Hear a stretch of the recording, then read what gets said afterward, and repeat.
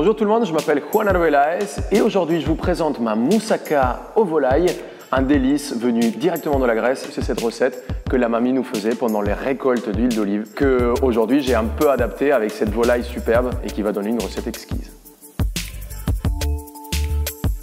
Il faut déjà faire bien colorer cette euh, volaille. On va essayer d'avoir une belle coloration pour aller chercher énormément de goût. Derrière, on va rajouter les légumes et on va les faire également revenir avec les sucres de caramélisation de la volaille. On va déglacer le tout avec un peu de vin blanc et on va laisser réduire légèrement le vin blanc. On rajoute les tomates, un peu d'huile d'olive et là, l'étape très importante du mijotage.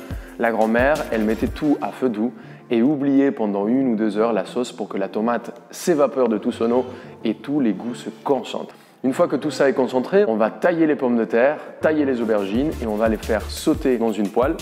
On surpose dans une plaque des pommes de terre avec la sauce bolognaise. On surpose encore une couche d'aubergines et de pommes de terre. On essaye de faire un joli montage et on va venir couvrir le tout avec une belle béchamel bien épaisse. On a besoin d'à peu près 1 cm de béchamel, ça va apporter le côté un peu crémeux, ça va aussi nous réchauffer, c'est le côté un peu généreux de cette moussaka. On fait passer le tout au four une heure jusqu'à que la béchamel soit bien gratinée. Et après, on laisse reposer à peu près 20 minutes et on déguste le tout bien chaud. Là, on est à la rentrée des vacances, euh, l'automne arrive, l'hiver s'approche et je voulais une recette quand on ouvre le paquet, on se, on se sent un peu en voyage, on retourne un petit peu en enfance et ça nous réchauffe le cœur.